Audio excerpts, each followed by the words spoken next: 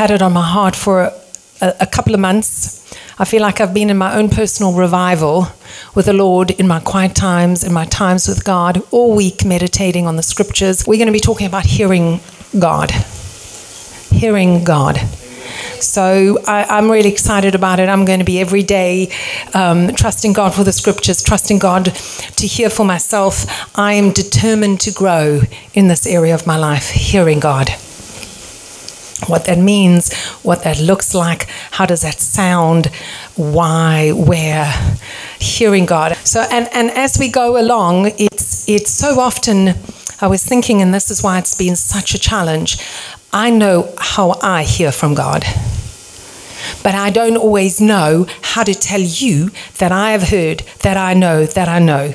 As clear as if you had been standing next to me, I know that I know that I know God spoke to me. I recently have been trusting God for a new job. I'm in a job, was in a job, but this uh, incredible job came up. And as I read it, it's like every line of that job description was mine. It was me. It was, that was it. I'd not, I hadn't felt that. I'd been trusting God for months to say, Lord, what's the next step? Because I'd finished my MSc, my master's, and I'd done the bit that I wanted to do, but what was the next step? So trusting God, trusting God. So I had read this job description, and every line was just me, all of it. So now I'm trusting God for this job. I'm going, God, I know that this is my job. You know that this is my job, but they don't know that this is my job. I shouldn't even have to interview for this job because this job is so my job. So anyway, of course, I had to interview it and trust Him. But we're going to be talking how do you know it's God? And God will, there are usually three different areas and over time we're going to talk about those different sometimes it, it, can be circumstances. So circumstantially that job had come at the most phenomenal time. The Word of God confirms that this is His plan and will and purpose, but you also get that direct, specific, clear, conscious Word of God to you. So I remember on this with this job situation, I, I went to the restroom, call it the restroom politely, um, and as I was getting up to leave and go, it's like the imprint of God came and he said to me, We're no longer going. It was like I came down to a T junction and I was no longer going right. We were, we were no longer going, the Lord and I, we were no longer going right. We were going left. Now you go, Marion, how do you, where do you, what? And I have been praying over, how did I? He didn't come in a big booming voice. Sometimes I hear specific words. When I wanted to move jobs, I remember being outside in my patio and I was so impatient. I'd finished my, my MSc and I'd, I'm like, now we're moving, we're going, we, we're getting out of here, we're going, what's the next step? And as again I got up to move, go back into the house, the Lord said to me, hold steady. Now, one of the ways I know God speaks to me is usually they're words that I don't normally use in my everyday language. God never speaks to her in her language. So they, they, they're unusual words. Hold steady. If I told Pastor to stop, I would tell him to stop. Like, no, no, don't go that way. God said to me, hold steady. And if I didn't hold steady, um, and he had to remind me again down the line because I got the hold steady. I held steady for like a very short time. And then I was like, okay, I'm going now, God. And God had to say, excuse me, hold steady. So, but if I hadn't held steady, I would never have seen that job and that job interview because it came in a very specific way at a specific time to the local authority that I'm working in. And if I had left when I was planning on being impatiently going, I would never have seen it. So, so we're going to be talking about hearing God. I'm so excited about it. Who here has a personal relationship with God? Just show of hands personal relationship with God. Okay, I'm not counting, but just you think you've, you've got a personal relationship with God. Great. How do you talk to them? When do you talk to them? Do you talk to them in different ways at different times?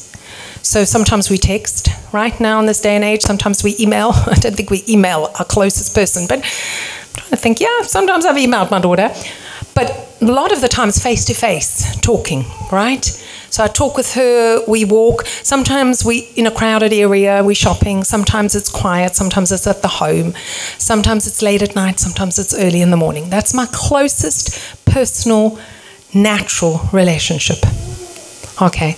So how can we say we have a personal relationship with Jesus Christ if we don't have all of that above that I just said?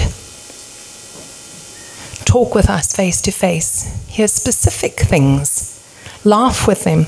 I laugh, hopefully. Hopefully, some of your good relationships you laugh with, you share with, you have fun, you encourage. I know some of my closest friends, I will, will encourage us, we laugh with each other. Sometimes we complain, and then I, I encourage them or correct them or give them a, a word of wisdom or give them a like an instruction. Sometimes they're asking for my, my support, or I'm asking them for their guidance. All of those things are part and parcel of a personal relationship. And it is this bit that the bit that we pray and we speak is not a problem to most of us, to the body of Christ as believers. So believers don't really have a problem with um, praying, speaking, talking. Um, even trusting God as this great benefactor, as this great, kind, powerful benefactor, or as uh, we know He's forgiven our sins and we're on our way to heaven, and yeah, but He is so much, much, much more. Hearing God should be part and parcel of a personal relationship with Jesus Christ.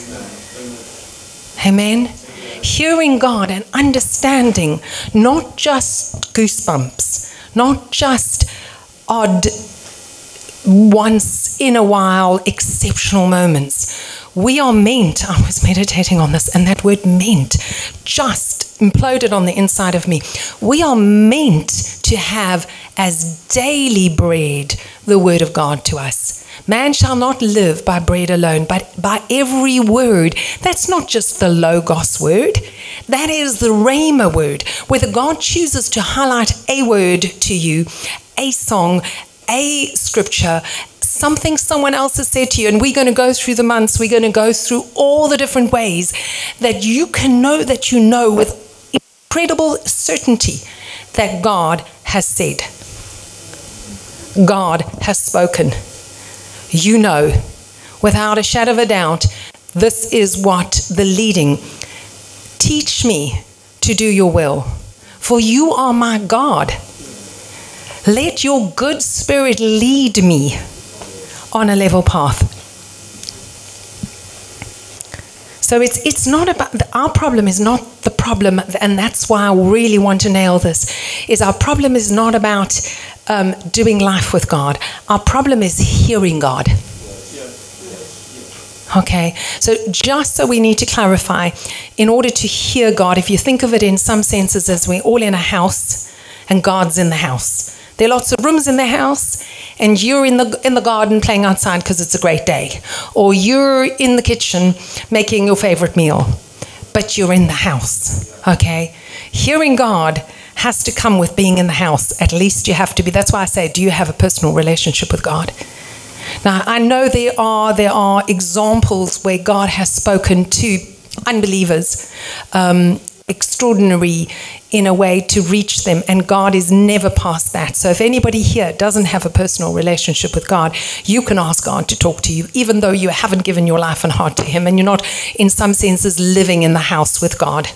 Amen. God will still honor a prayer and a request and a cry for, for, for Him to speak to you.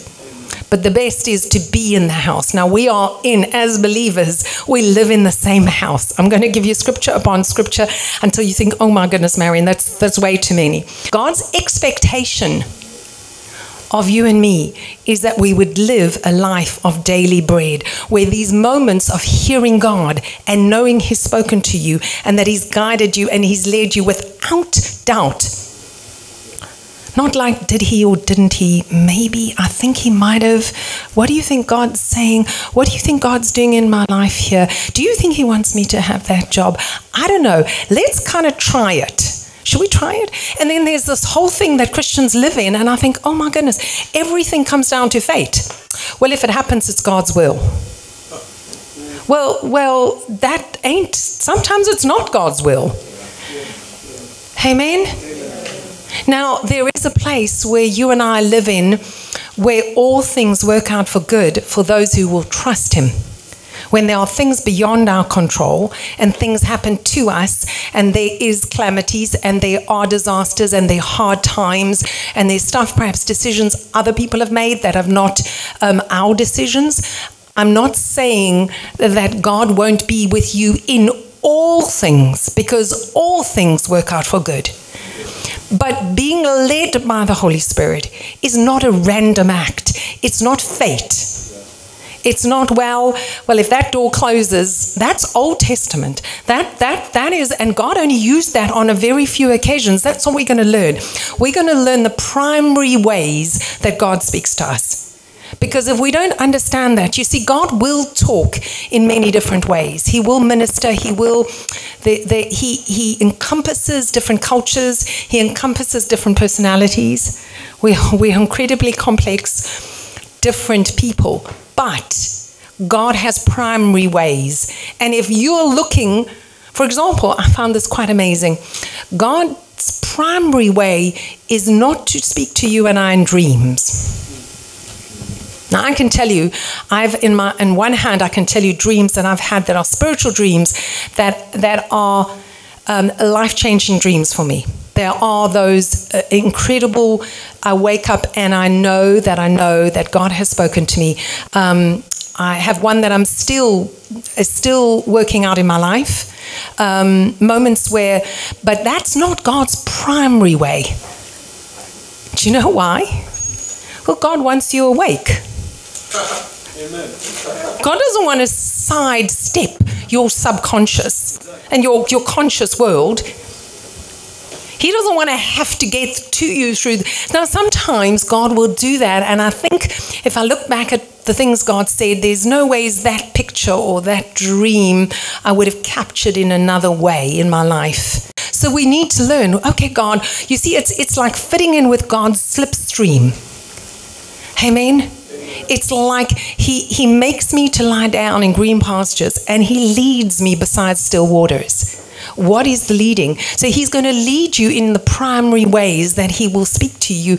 And then there will be occasions where he speaks in other ways. And hearing God comes in another way. And then we're going to talk about, well, what if God doesn't speak? And I have been listening. I mean, what I'm praying for, the anointing that I'm praying for, is anointing of Eli. Anybody know Eli Samuel in the Bible? He goes into the temple and Eli gets, now you must remember at that time, just very brief hist- Israel, the history around Israel is God hadn't spoken to them for a very long time. God spoke through the priests and, and the high priests, and God wasn't speaking. They were not in a good place. So Eli is very old, Samuel's brand new, he's in the house of God, he's sleeping, and he hears a voice so loud and so audible, he thinks it's Eli. And three times he goes to Eli, and eventually Eli catches it. And Eli goes, I know that's what's happening. This is God. And he says to little Samuel, Go back. And when next time you hear the voice, say, Lord, your servant is listening. Amen. So sometimes we need prompting. I mean, why do we need, thus saith the Lord? we don't even speak in Elizabethan English. thus saith the Lord, as if that would have some more impact on us. You just need to be listening for the touch of God on something that a godly friend is talking to you about. And perhaps not even correcting you, because if you're that open, you will hear it even before it's a, a, a, a real correction coming. You know? So it, it is about tapping into the Spirit but again, remember, it's not meant to be exceptional, extraordinary, and some of those are. God has got favorites. I'm like, no, Jan, I'm sorry. God hasn't got any favorites. God favors. The, the thing is, it's, it's like the river. That's what I said to her. The river is there for everyone. She just jumps in the river and swims in it constantly. She hears God so much because that's what she chooses to do, not because she's God's favorite. All right? You are God's favorite just as much. God, you were meant to hear. Amen. You were meant to hear. So I'm trusting for an Eli, Eli anointing. Amen. We need that that constant, constant, clear guidance. I'm going to go through a few scriptures. I think uh, will you put them? So so Genesis one twenty seven. Okay, that is all about God made you in His image and likeness. In other words, God is a relational God. Father, Son, Holy Spirit. Let us. God was in relationship before you even were a thought. And a relational God made you in his image and likeness. Amen. I must keep an eye on the time. What are we? We, we are okay. So, so number one, your very DNA is made for God. You were meant to have a personal, intimate, conversational relationship with God. You're going to hear these words so many times over, and be like, now, if you want to ever look at how God meant for you and I to walk, this was God's blueprint. This was God's architectural design. He made Adam, and he walked with Adam in the cool of the day every day. That is what eventually, when we get to Jesus, Jesus died to give us so we could get what we were originally meant to get, which was the Garden of Eden. Now, unfortunately, we're not in the physical Garden of Eden. We will one day be. But that's how we, the relationship was made. Right from the beginning of time, God was speaking. God wanted to speak. There I will meet you there I will meet you from above the mercy seat, from between the two. It's just all about how God used to speak to the Israelites, a regular place of conversation, interchange, conversational interchange between the high priest and God the mercy seat over the ark of God. Okay, so that, that that's really complicated. We don't, thank goodness, have it. But God wanted to speak. His whole intent, his whole purpose, the reason we were created was for God to talk all the time to dwell, to live, to abide. Amen. Can we see the next one? There I will meet you, meet you and speak to you. I mean, I just love that because you almost feel that you can hear the heart of God come out of that. Can you hear God's intent? They will know that I'm their God who brought them out of Egypt so that I might dwell among them. God wanted to dwell amongst us. This was always at the heart of God to abide, to live, to dwell, to have his home in us. Can we go to the next one? Ah, Moses face to face. Imagine having your intimate partner. Imagine if the pastors, they spoke, but they never ever spoke face to face. Ever. It was just like only via text or email or virtual world. I mean, we live in a virtual world at the moment. I do in work. But but God wants face to face. Sometimes I'm so desperate. I mean, I'm just so happy to get out of the house and go and see a real live person and not just a computer. They're all on computer. But face to face doesn't mean God is going to come down in a physical form. But face to face can be just as real and clear and concise and specific. Amen. It's not a blur. It's not the goosebumps or the myths or the, you know, there's nothing, there should be nothing that is, God is, there's some stuff that's unclear about God that we will only know when we get to heaven one day. But this is not one of it. God's will and plan for your life. A certainty of whether you should take that job or not shouldn't be one of the uncertainties. How God wants you to conduct yourself, who God wants you to be in relationship with, what are the next steps. In, in, in fact, it's not always going to be about guidance and leading you. Just hearing Him say, I love you, laughing with Him.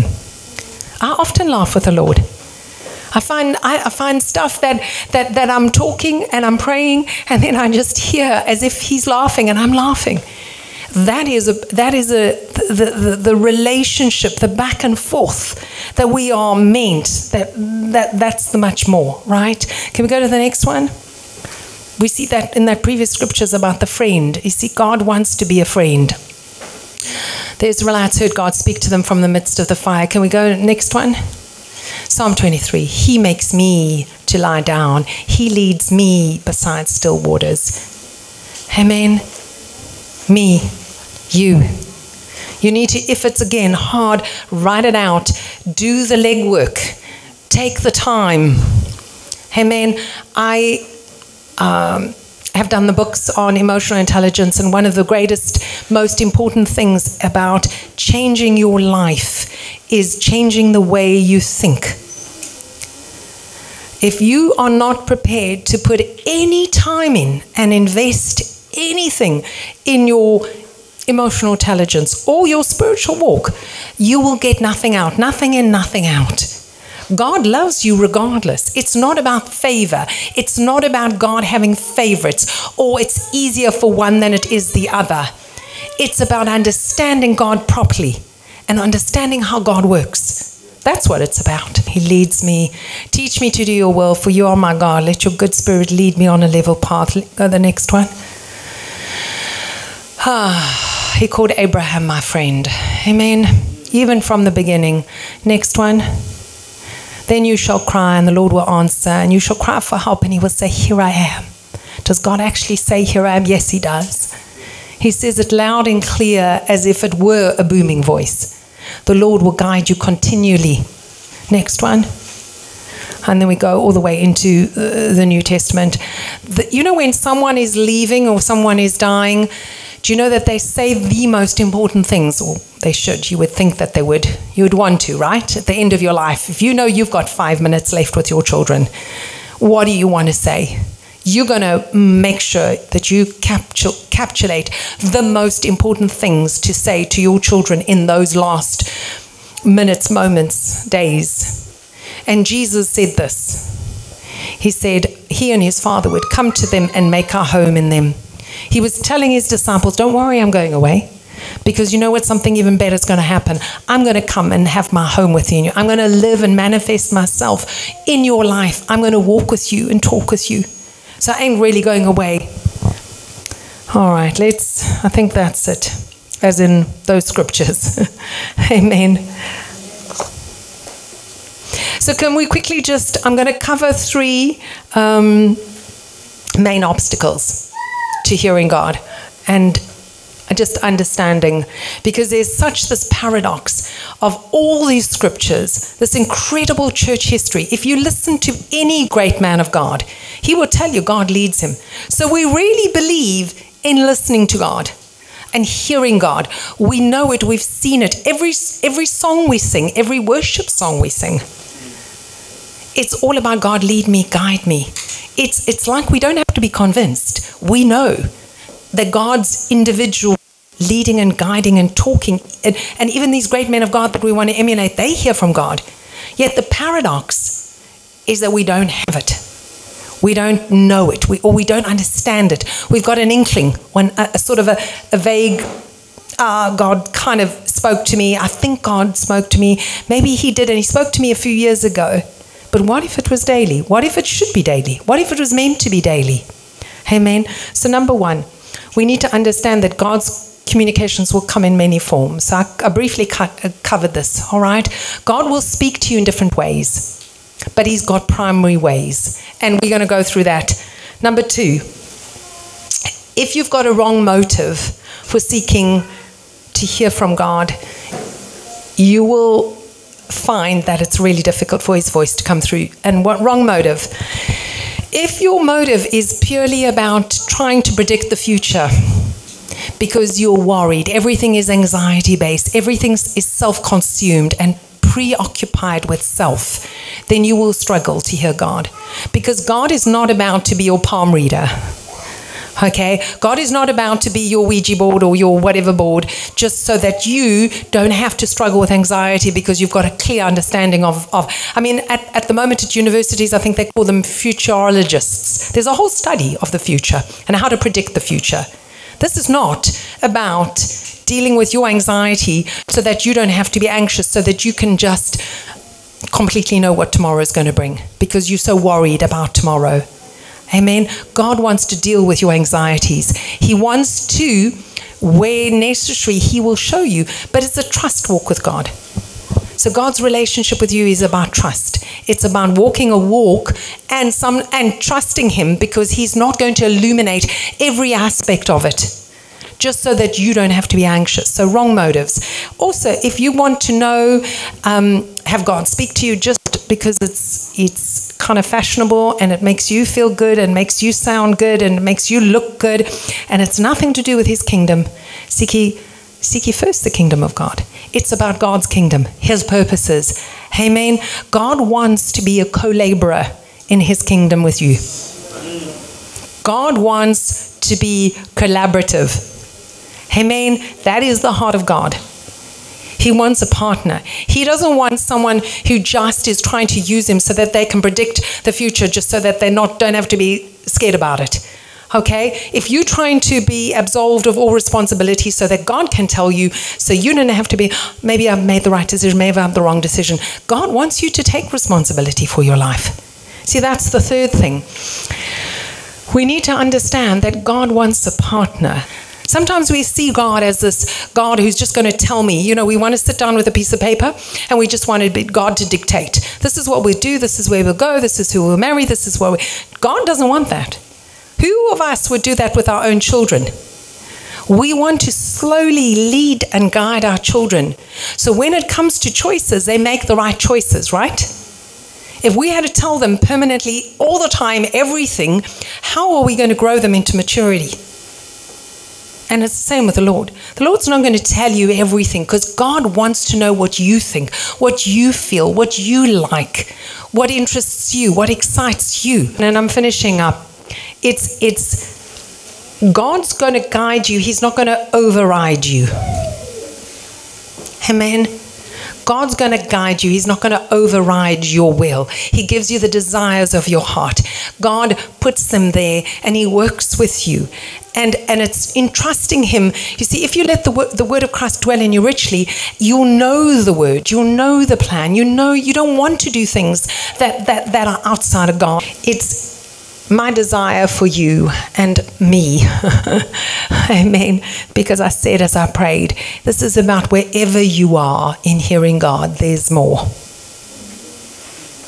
Wherever you are, I don't, I don't, I, I don't. God doesn't mind if you're a babe in Christ. Even if you're outside the house, God will speak to you. If you're in the house, but you're just in the house, God will guide you and direct you and lead you. If you're in the house and you're a little bit further on, like me, and God's spoken a few times, and you're kind of sensing, and you know, I want more. I need to be. I need to know more. I need to hear more. I need to make sure that God's not talking to me, and I haven't listened, and I haven't heard. I want to hear it. I want to sense it. The Bible says God comes to bring us life, life more abundantly. When we live not by bread alone, but by every word that proceeds out of the mouth of God. It's like we literally live. That word is Zoe, it's life, it's abundant life. So when you and I are living by every word that proceeds out of the mouth of God, we're really living. Amen.